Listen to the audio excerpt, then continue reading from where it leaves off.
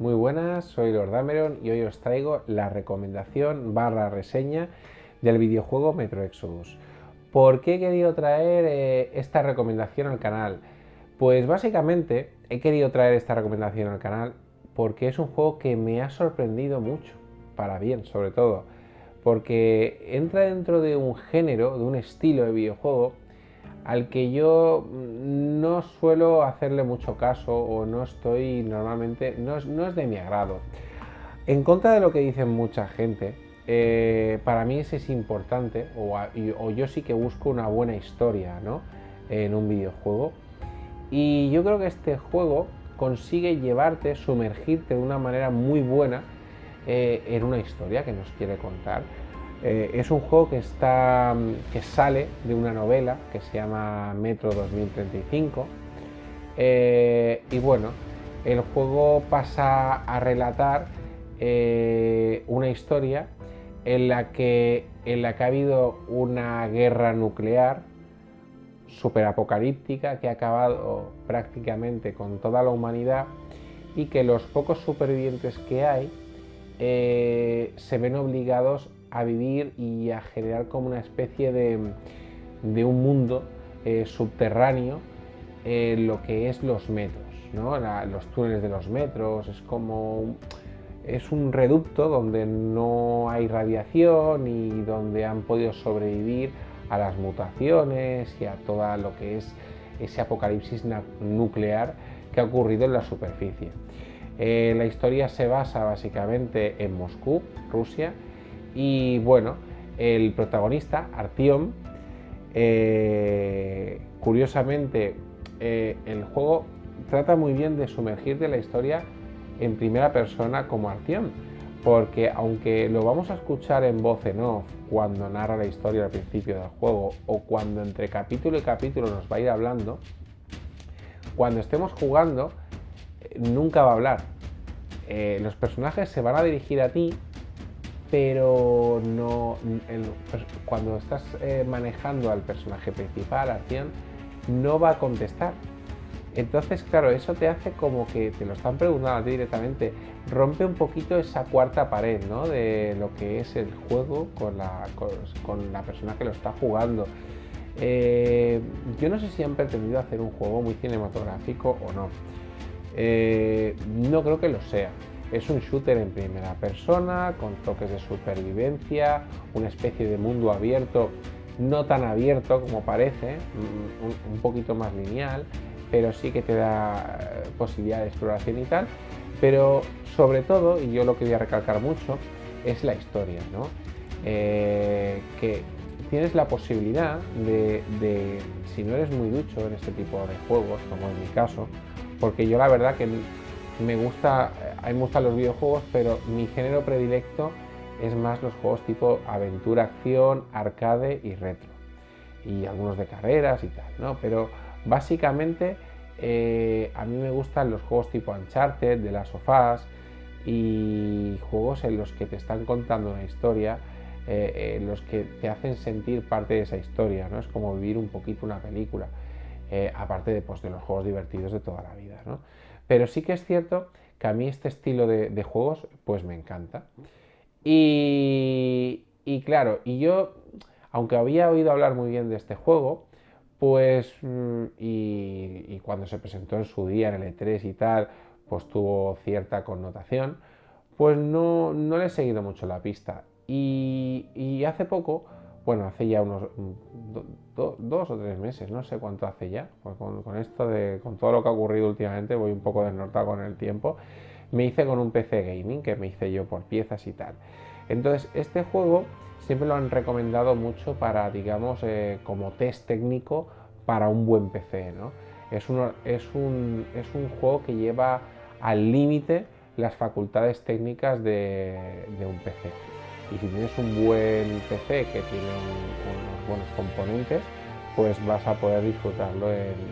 la verdad que vas a poder sacarle partido a esa calidad gráfica. Eh, este juego usa la tecnología eh, Ray Tracing, ¿vale? de las nuevas gráficas RTX de Nvidia.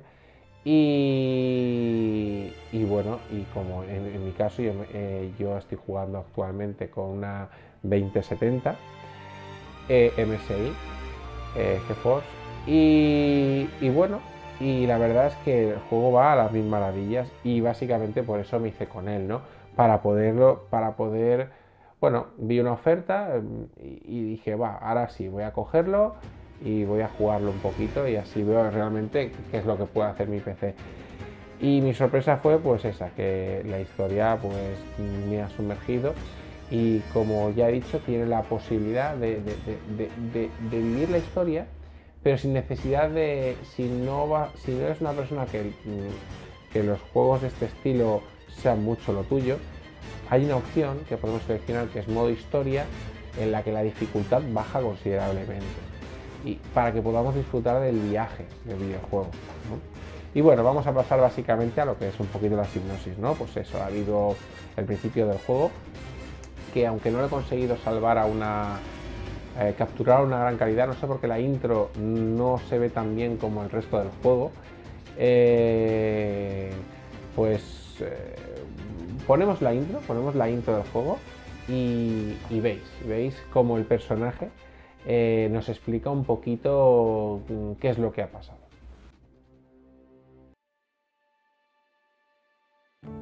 Aún recuerdo la vida antes de la guerra.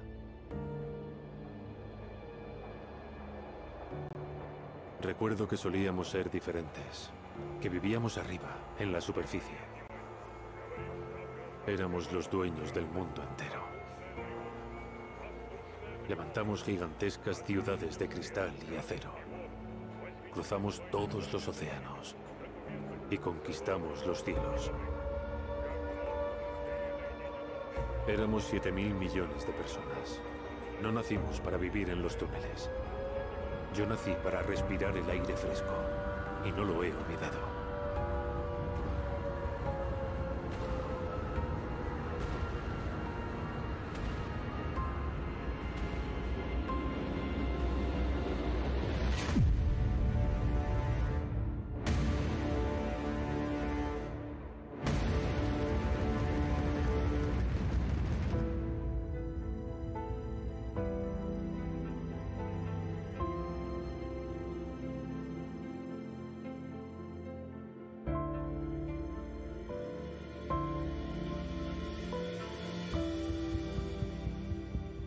La última guerra provocó 7.000 millones de muertos.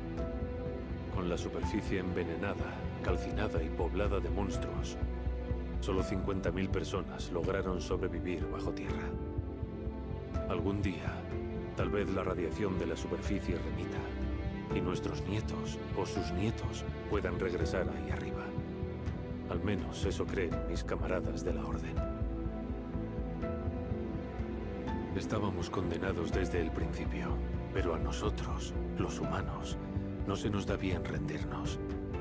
Intentamos salir adelante con lo poco que teníamos. Nos agrupamos y nos pusimos manos a la obra para hacer del metro nuestro nuevo hogar. Después de todo, podría ser el único lugar de la Tierra que les quede a los humanos. Durante un tiempo estuvimos seguros de que lo lograríamos. Lamentablemente, la guerra no había conseguido que olvidáramos nuestros malos hábitos.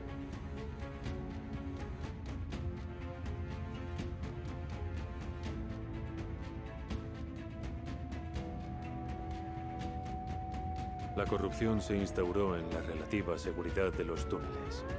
Y cuando el peligro llegó desde la superficie, solo unos pocos de nosotros le hicimos frente, mientras las bajas aumentaban día tras día.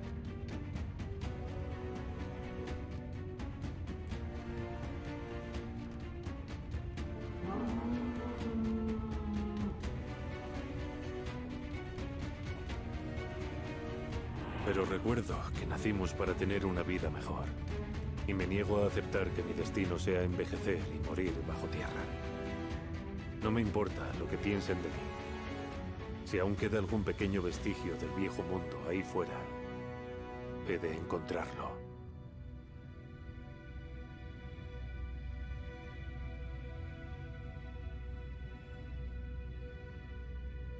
Si tengo que escoger entre una larga y triste existencia y un solo instante de esperanza, elijo lo último. Debo encontrar esa señal.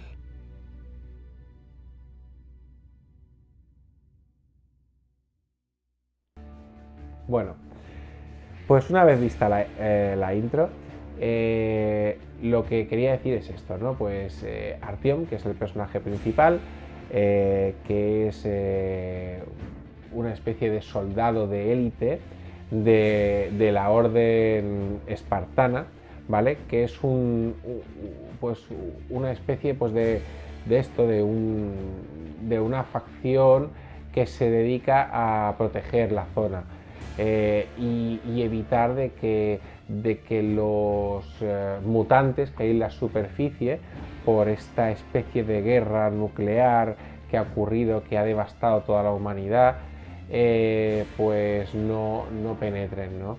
Y entonces el juego pues te va a ir eh, enseñando cómo, cómo eh, el peligro de ir por ciertos lugares y lo que te puedes llegar a encontrar, ¿no? Con ciertas sorpresas. Y bueno, pues este personaje resulta que tiene como la obsesión de que no están solos, de que como que no es verdad, que hay algo ahí fuera, que aunque ellos les han dicho que, no existe nadie más que ellos, que ellos son eh, los únicos supervivientes de toda la humanidad que están ahí en el metro de, Moscú escondidos y tal, que no, que no, que no haga, que no busque, que tal. Pero él, por casualidad, se ve que lleva una radio consigo, una especie de emisora, y en un momento le pareció escuchar algo. Se obsesiona con eso, se obsesiona con eso, y, en contra de las indicaciones de su comandante, o bueno, más bien coronel, que es el jefe de, digamos, de este escuadrón, el coronel eh, Miller, que casualmente es su suegro de su mujer Ana, que va a ser también la que le va a acompañar en esta aventura, porque aunque no lo acaba de creer, digamos que lo apoya, eh, pues él va a seguir haciendo pequeñas incursiones ocultas a la superficie para buscar eh, lo, que, lo que él llama, que él quiere convencer a, todos, eh, a su escuadrón, a, toda la gente con la que convive, de que sí, que, no están solos, que aparte de, seres extraños y, mm, monstruos de la superficie afectados por la radiación y la mutación, etcétera, que no, que, que no están solos y que hay otros sitios mejores y que él no quiere eh, quedarse con, esa, con eso y decir, no, yo no me voy a quedar aquí, yo no he vivido, yo no, o sea, yo no, yo, mi, meta en la vida no es acabar aquí abajo, yo quiero encontrar qué es lo que me voy a encontrar ahí fuera, ¿no? O sea, quiero, quiero buscar y estoy convencido de que no estamos solos. Y bueno, la historia pues empieza así, ¿no? Luego iremos descubriendo que efectivamente sus sospechas se van haciendo realidad y como en todas, en todas las historias apocalípticas, en todas las historias apocalípticas, eh, curiosamente al final tienes más que temer de los propios humanos que de, esos seres eh, eh, mutantes que te puedas llegar a encontrar, porque a veces los propios humanos siempre son más peligrosos, sobre todo en estas situaciones tan extremas. Y acabarán cogiendo una locomotora, que le llamarán la Aurora, eh, donde convenciendo a sus compañeros con unas pruebas evidentes de que parece ser que no están solos, de que hay algo más y que hay lugares incluso mejores y tal, y un coronel Miller que parece que, que no dice toda la verdad y que sabe más de lo que dice y que está ocultando algo, irán descubriendo eh, pues, eh, pues eso, lugares nuevos y entonces pues la locomotora, bueno, el tren este, eh, se convertirá en como el centro de operaciones de esa, de esa incursión ¿no? que van a hacer ahí a, ese, a explorar ese mundo apocalíptico y a ver qué se van encontrando junto con el coronel Miller, eh, su mujer Ana y, su, y este escuadrón que, le acompañan y que son fieles a él. Y bueno, nos iremos encontrando pues cosas muy curiosas y, nada, y, poco más decir que este juego, aparte de la potencia gráfica, quería hacer, em, bueno, hacer un, pequeño, una curiosidad que me he encontrado ¿no? con este juego, porque eh, yo esto no lo sabía, yo cuando me hice el PC Gaming este que me he hecho. Eh, bueno, me lo hice con lucecitas, RGB, porque me hacía gracia, que lo haces, pues bueno, ahora está de moda un poco porque tengan luces personalizables y tal. Y todo lo que lleva, eh, me he puesto componentes Corsair RGB, pues memorias, ventiladores y tal, que como bien sabéis, o si no lo sabéis, funcionan. Hay un programa de control que se llama, bueno, el IQ este, que puede sincronizar, digamos, los colores y personalizártelo y todos los componentes que vayas comprando compatibles los puedes ir personalizando con este, con este programa. Pues este juego es compatible con esta tecnología y genera un efecto Ambilight que se sincroniza con el juego y si juegas completamente con la luz apagada, pues el PC veremos cómo se va iluminando de rojo si nos disparan y nos hacen daño, si nos irradia, si pasamos por una zona donde radiación se pone como naranja, si estamos en la nieve se pone blanco, si estamos en el agua se pone azul, genera como una especie de ambilight como hacen las, televisiones Philips, que creo que es, eh, si tienes una OLED Philips con ambilight ya sería la combinación perfecta, pero sí que genera una, una inmersión bastante buena y te hace pues, pues eso, dejarte llevar y, aparte pues descubres algo nuevo, tecnología IQ que yo mm, no, sinceramente no sabía que, se podía, que podía funcionar de esta manera, yo la había como un mero programa de gestión de, colorines de los componentes RGB y no, pues los, juegos que sean compatibles con esta tecnología pues generan una especie de Ambilight que te hacen pues, pues bueno, te hacen como, no sé, crean un ambiente. La ambientación del juego es muy buena y la historia, como he dicho, si no te apetece jugarla más allá, o sea, no quieres complicarte la vida, eh, lo puedes jugar y, en modo historia que eh, baja bastante la dificultad y te vas a poder dejar llevar por, por, bueno, pues, por todo lo que pasa. No quiero hacer más spoilers ni quiero contar más. Voy a poner el tráiler, que el tráiler creo que cuenta un poquito más de la cuenta, pero bueno, el tráiler ya eh, demuestra bastante las facultades técnicas. Así que nada, eh, eh, acabamos y nos despedimos con el tráiler del juego y espero que os haya gustado esta recomendación y bueno, y aunque a lo mejor eh, quien no creo que nadie busque información de este juego, los que lo conocen y los que le interesan, porque realmente ya sabrán cómo es, pero a los que a lo mejor mm, o no habían escuchado hablar mucho de él o no le habían hecho mucho caso porque no es el estilo de juego a los que ellos mm, suelen jugar, lo recomiendo eh, que le deis una oportunidad porque para los que nos gustan, para los que no nos gustan este estilo de juego, eh, ya veis cómo, os, va, os va a gustar. Os va a gustar eh, más de lo que pensáis. y nada, pues eso, nos despedimos con el, con el tráiler del juego y hasta la próxima. Un saludo. Peggy 18.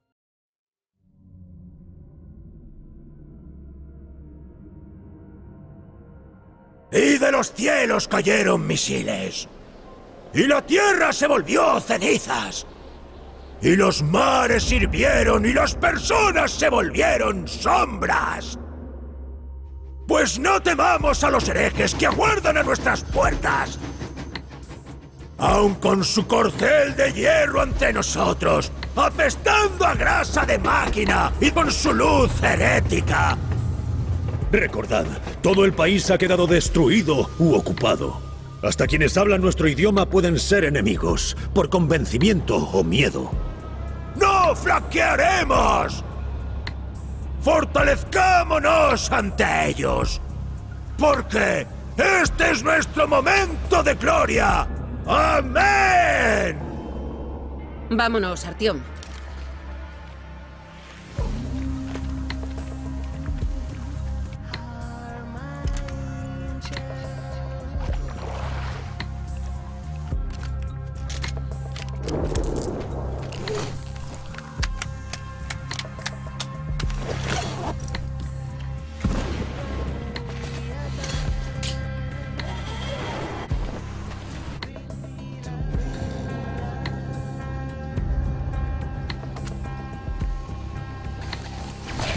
¿Quieren sangre? Pues la tendrán.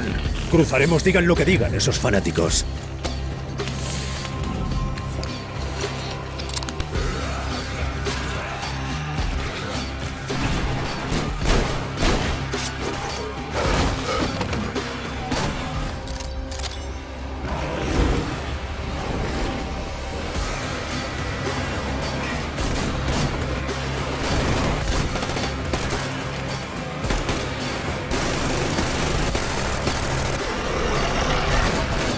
¡Me rindo! ¿Y si los herejes vienen a por nosotros? ¡Nos mantendremos firmes! ¡Me habéis cogido, malditos herejes! ¡Artión, salta!